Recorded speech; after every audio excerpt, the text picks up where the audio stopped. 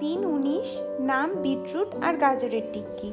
Beetroot আর গাজরটাকে ঘষে নিয়ে হালকা তেলে নাড়াচাড়া করে নিয়েছি।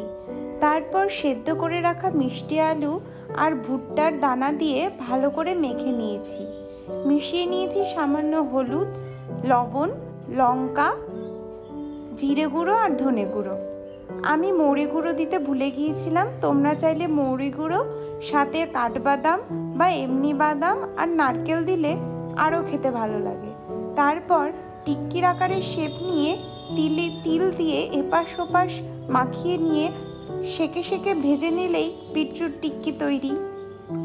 ভীষণ হেলদি একটা রেসিপি। এটা ব্রেকফাস্ট বা ডিনার, যেখানে খুশি তোমরা করতে পারো।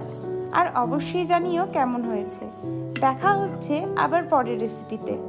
আরেকটা কথা, বিটরুট টিকিটা নারকেলের চাটনি অথবা টমেটো সস দিয়ে খেতে ভীষণ ভালো লাগে।